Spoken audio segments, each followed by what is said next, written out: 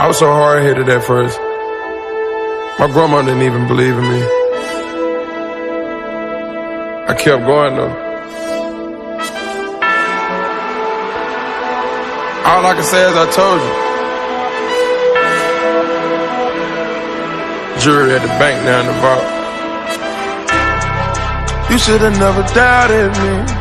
I'ma work to my last breath.